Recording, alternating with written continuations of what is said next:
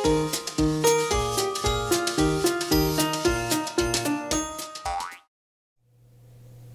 and welcome to another video. In today's lesson we will learn how to make this great slouch hat. I've used Christmas colours so it could be used as a Christmas hat as well. It has a drawstring at the bottom of it so it is very easy to make and a great project for beginners. We will be using my wonderful friend Kat's pattern from Cats Rockin' Crochet. I will put a link below in the description box so you can go and check out the pattern. The pattern is very easy, like I said, and is great for beginners. You will need to know how to make a granny square, but I will put a link in the description box below the video on how to make a granny square as well. So I hope you enjoyed this video. So let's get started on the lesson. In today's project we'll be using Red Heart yarn. I am using the Red Heart shimmer in the colour red. I am also using a white which is just an Australian 8 ply, but that is also equivalent to the same thickness as the Red Heart Shimmer. For our supplies, we're going to need a yarn needle with a large eye, a pair of scissors. These scissors are now available on my website, so I will put a link below so you can check them out. We're going to need a crochet hook to go with our yarn. I'm using sports weight, 8 ply or double knit yarn. So that's using a 4mm or a size G. This one is the Red Heart Shimmer. As you can see it's got like glitter through it. It's really cute. And this is just regular 8 ply yarn from Spotlight. And they're both the same thickness which is really good. So the Sports Weight and the Shimmer, which is the red one, is the same thickness as the Aussie 8 ply so I'm able to put those together which is awesome. I would have preferred this one to be the shimmer too but I didn't have any in the white only in the red. So putting those aside for a sec. What we need to do is make granny squares. I have made three round granny squares and I've joined them all together. I've got one, two, three, four, five, six. And the measurement of my granny square is three inch across which is about what's that? About eight centimeters so make your granny squares. This will fit approximately a 58 centimeter head. If you want to make it larger or smaller you're going to use more or less granny squares. This will be a case of making the granny squares, sewing them together as you go, and then wrapping it around the head to see what head size it's going to fit.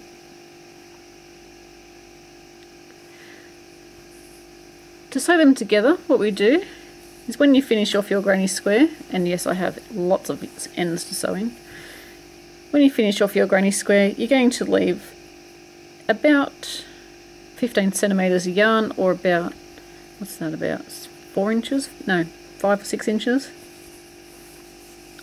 Then we're going to grab our yarn needle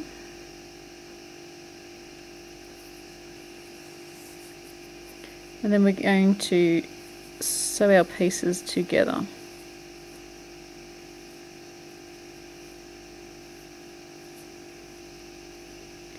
So we're just going through both loops on both pieces. And this hat doesn't have to be made for Christmas.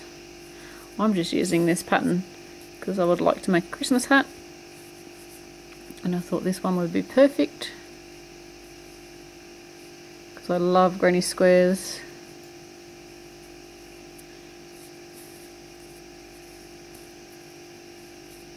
I need an excuse to use this really pretty yarn.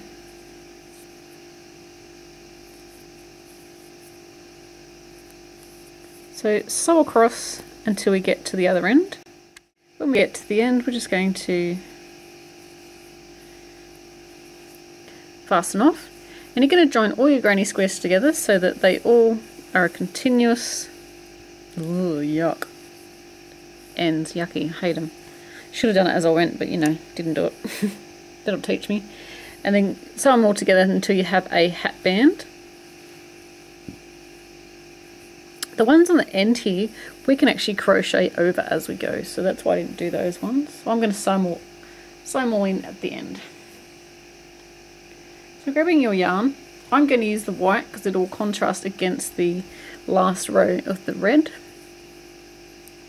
I'm going to join our yarn in.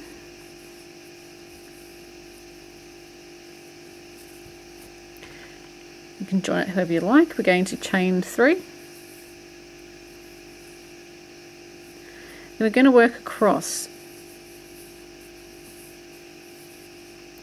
So into each of these stitches you want to put one double crochet.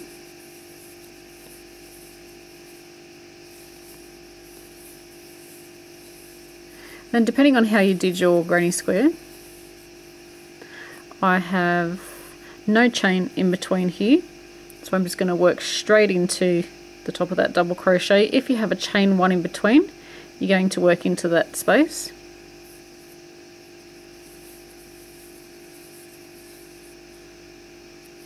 So working in each of the double crochets. It feels so strange to use quite thin yarn such a tiny hook. I'm used to using worsted weight and an I hook. Again, if you've got a chain one in between your groups of three, you're going to crochet into there. If not, go into the top of the double crochet. So this round just neatens off the edging. So we've got our corner space, so we're going to go into there.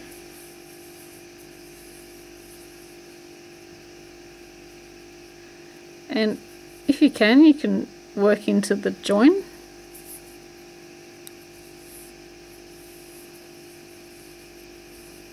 and then into the corner space which is here. And then into the top of the double crochets.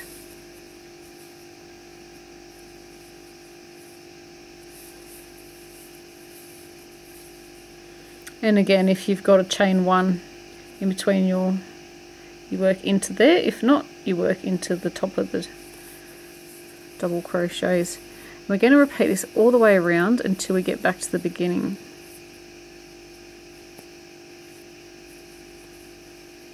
So I'll continue around and I'll meet up with you when we get back to the beginning. When we get back to the beginning we're going to join with a slip stitch. And then chain up three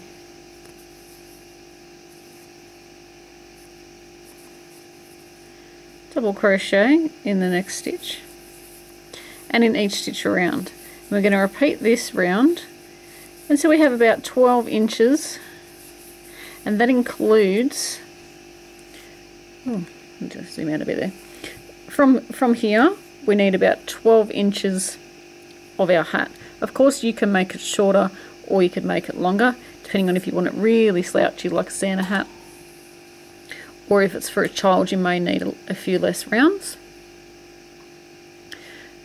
But continue on until you have 12 inches or the measurement that you desire from the beginning of the hat because this is the brim of the hat and this will be the main section of the hat. And I'll meet up to you when we have this bit completed. Once we have our rounds of double crochet done, I've done 20 altogether. We're going to decrease around the top of the hat. Now that's 20 rounds of the 8 ply or the sports hook. So first of all we want to chain 3. We're going to decrease in every fifth stitch. Now this is a guide only. You could spread it out more and make more rounds of decrease if you like, but in Kat's pattern it's every fifth stitch so we're going to follow along with what was done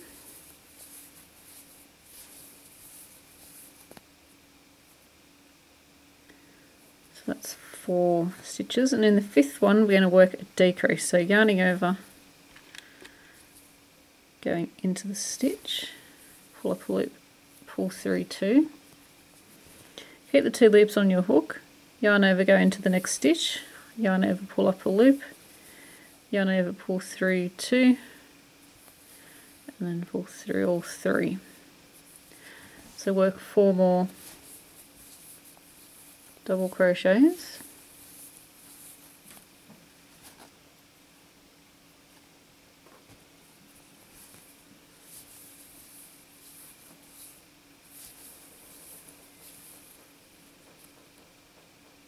And then work the decrease so it's going into the stitch. Pull up a loop. Pull through two leave those two loops on your hook.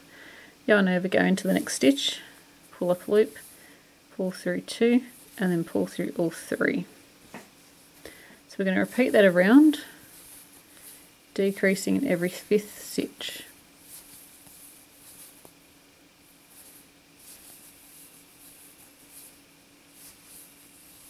So working a decrease.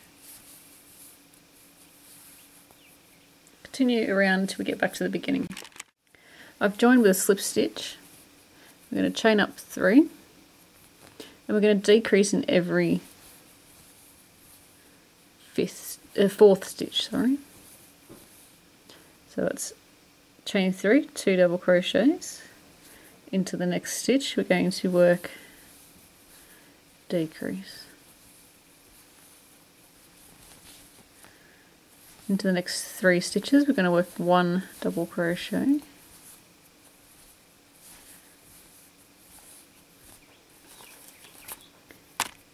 into the next stitch we're going to work decrease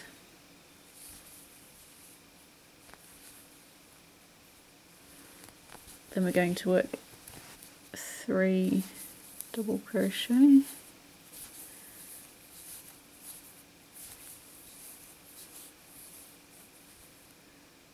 and then a decrease.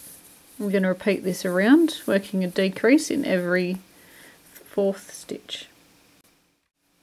When you get to the end of the round, if your decrease isn't in the right spot, that's fine. This isn't a perfect um, combination of stitches. This is just the guide and this will decrease. And this is all being gathered at the end anyway, so you won't even notice if you are a couple of stitches out.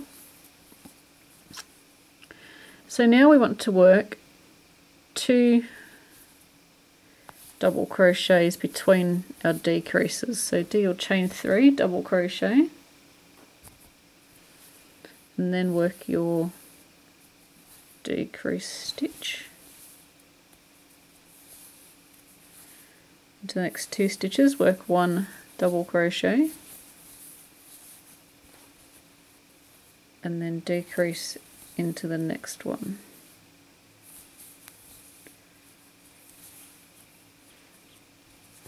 So repeat that around, working a decrease. So we've got decrease 1, 1, and then a decrease. Continue around till we get back to the beginning. So in, in Kat's pattern it doesn't say to work another decrease round, but if you would like to, and I'm actually going to, we can work another round of decrease. So we had two stitches in between our decrease, now we want one, so that's one there and then decrease into the next one. Work a double crochet and decrease into the next one. So you're decreasing in every second stitch. Continue around and I'll meet up to you when we get back to the beginning. When we get to the end we're going to finish off. So I've still got a hole there. We'll be making a tie to close up that gap First of all, we're going to work onto the brim of the hat. Now this is completely up to you how many rounds that you work. You could work just one round or you could work, like I said, as many as you want. So we're going to join your yarn in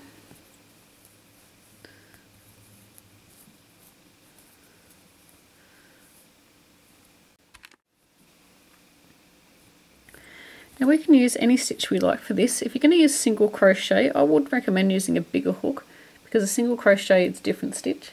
It is uh, tighter than a double crochet. You could use a half double crochet or double crochet. So I've chained three and I'm going to zoom in and I'm going to crochet into there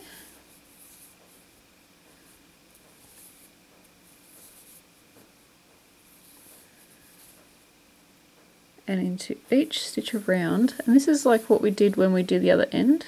We did over here. We did our main section of our hat. We're going to do exactly the same. So we're just going to double crochet around.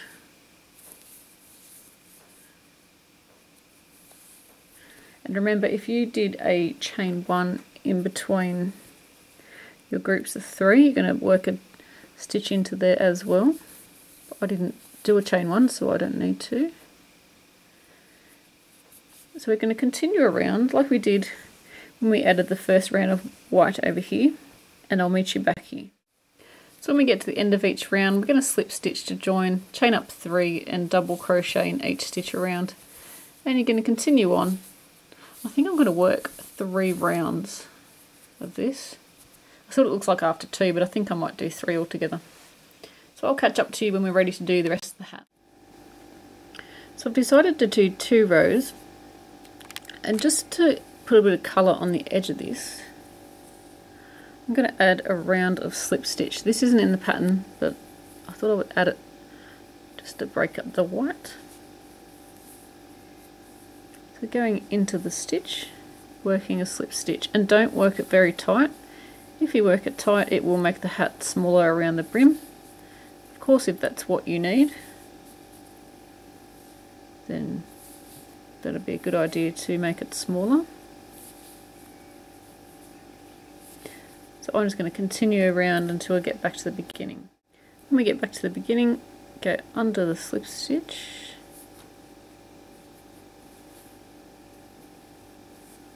Sorry. Go under the slip stitch and then pull through. So what you would normally do in a stitch. Work your slip stitch. Pull that out.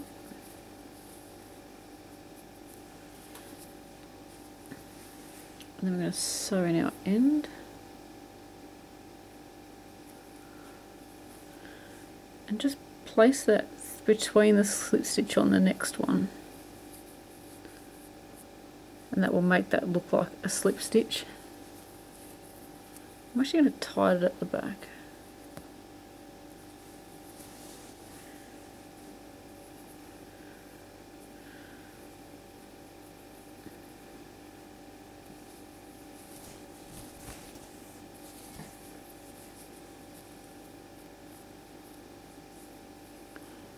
and then we're going to sew in our ends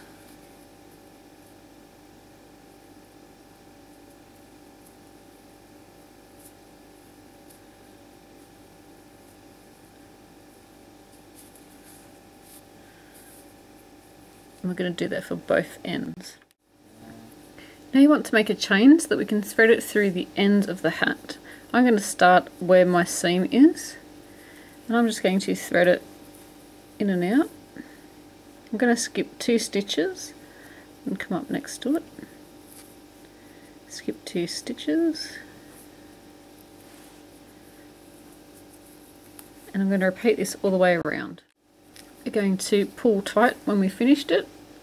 And my chain is actually still attached to my yarn because I didn't know how long I wanted my chain.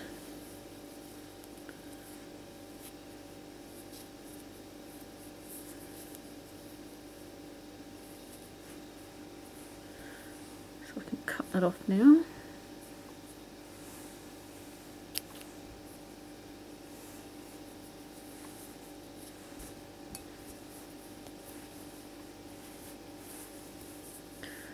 I'm going to cut those off at the same length.